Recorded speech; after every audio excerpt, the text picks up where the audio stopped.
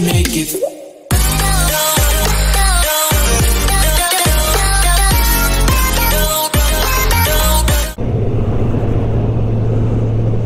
What is going on, my YouTube family?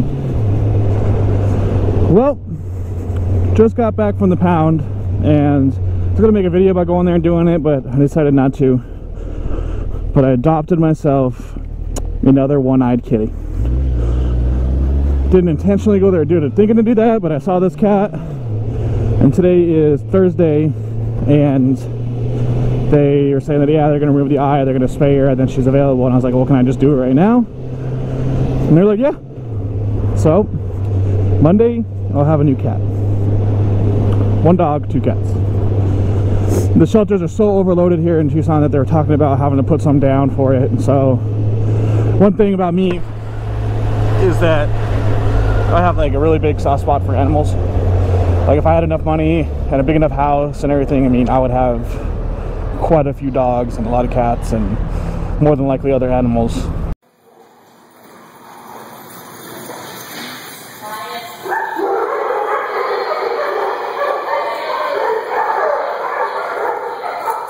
That's just me, you know. But any hoodle, what I wanted to talk to you guys about today, since I made that one video talking about um, things that motovloggers do that I hate, and you guys seem to like it, I think I do something along the same lines. Which what it is is things about motovlogging that I hate, you know, as being a motovlogger. So, well, I guess we'll go ahead and talk about that one today. So the first thing that I hate about motovlogging, by far, the, pretty much the only thing that I really, really hate about it is editing. Now I'll give you guys a little glimpse here of what editing is like. So imagine, you know, because right now it's hot. You know, we're getting into the hundreds now here in Arizona, at least in Tucson.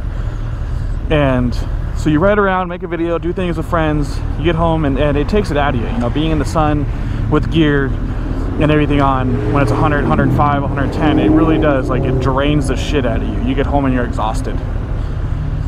And then you go here, you sit down, you're like, I'm gonna edit this video, I'm gonna put something up, it'll be fun. And then you see this. All these videos are all probably 10 to 15 minutes long, so that gives you an idea of editing and how tedious it can be.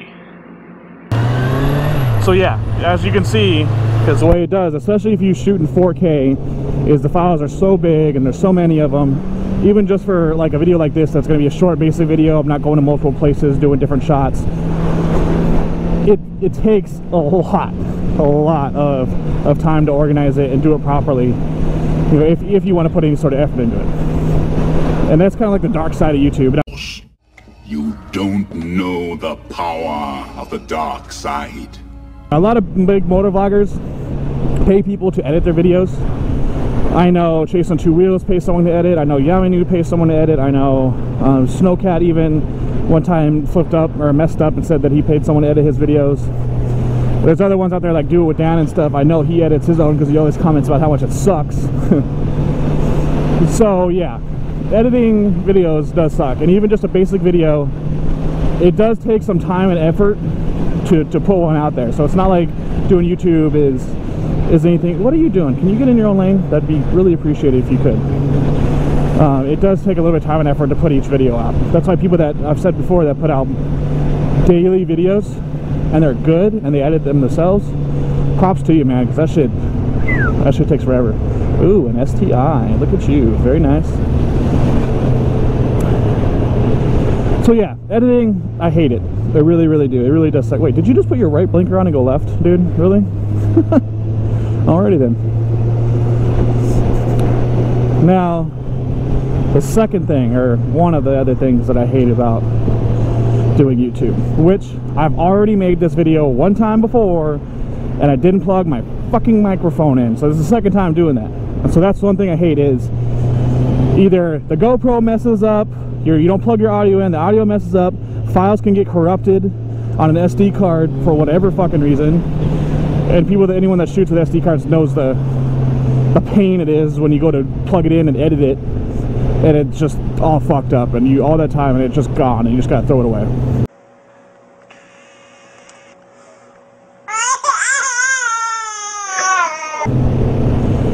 Especially with GoPros. Now GoPro, when it works, is fantastic. I love it. It's perfect. But it seems to me like the GoPros nowadays, they're trying to put so much technology in this tiny little box that it's it's getting to be a little much. Like the, the technology just isn't there for it to be perfect. So if you do buy a GoPro, know that you will have problems with it at some point in time. My 7 will freeze sometimes. Um, and even when I go to work and put it in my locker, it's off, completely off. Uh, Wi-Fi is off, voice commands are off, and it'll drain the battery. Down to, it'll be at 60% when I put it in my locker. When I get back off work, it's at zero. And they're talking about making some update for it, whatever. But so that sucks. Whenever you put time and effort into a video and it just, it's fucked. Especially with audio.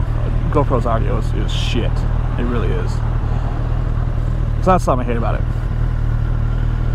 And so now, this next thing might come off as me being kind of a douchebag about it, but it, it is, and I'm, you know, I'll let you guys know how I feel. I don't, I don't fake shit. The question that YouTubers that have any sort of content even remotely related to motorcycles is, what is a good beginner bike? For the love of baby Jesus, would you stop asking YouTubers and people that, you know what I mean, on, on any sort of platform that ride motorcycles, what is a good beginner bike? There are so many YouTube videos, so many articles on Google, everything that will explain to you in depth what a good beginner bike is. Stop asking us what a, a good beginner bike is. Straightforward, the answer I give everybody, just because I don't know you, there's so many factors that go into it. Ninja 300 Honda Rebel. Look it up. That's a good beginner bike. That's it. I'm not going to sit here on YouTube and have some major in-depth conversation with you about what style bike you ride, you know, what size are you, what are you thinking you want to do with the bike, do you have any experience, like all this stuff. There's so many factors that go into it. So, go online, be a big boy, and do some research and figure it out on your own what a good beginner bike is for you specifically. That's the issue I have, because it's not just a straightforward answer. It, it, it, really, I get that question like at least six times a week. At least six times a week. And the other thing that I don't, I don't necessarily hate it because it's just part of the game, but the comments you'll see on YouTube are fucking hilarious. They really, really are. Especially if you're putting content out. It's funny as shit. As angry as some of these people fucking get.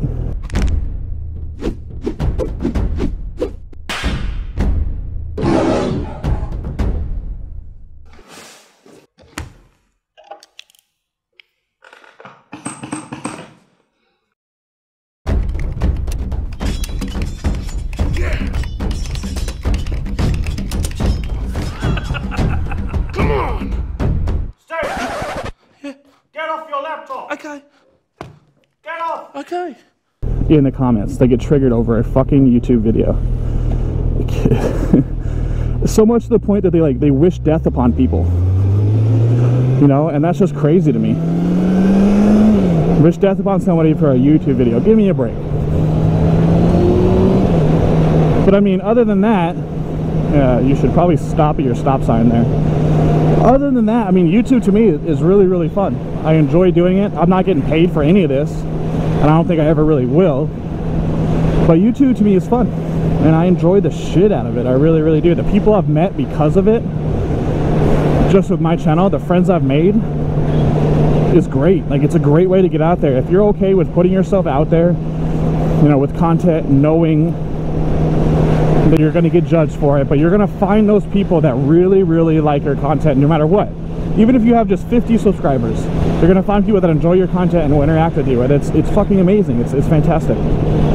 So if you're thinking about starting a YouTube channel, and you, you can actually afford getting some, you know, some equipment to do it, and even if you just want to shoot on just your, your iPhone or your, your Android or whatever, just making small little things, do it. I think you'd be really surprised at the people you meet and kind of the doors that'll open for you. Because of YouTube, I've been able to ride bikes that I never thought I'd be able to ride, ever. I've met people that I that I would have never met, and it would have sucked. So if you're morally thinking about it, go for it. And that's kind of a life thing too. If you're thinking about doing something that'll make you happy, fucking give it a shot, man. Like, what do you have to lose? Give it a shot. You have such a short time on this earth. Fucking go and try and experience things, experience life. You know, don't be one of those people that sits at home and by the time you're 50, 55 years old, 60 years old, we're, I mean, let's face it, once you're like 60, 65, if you've made it that far, you're, the vast majority of us are, we're hitting the end. You know what I mean? That's it.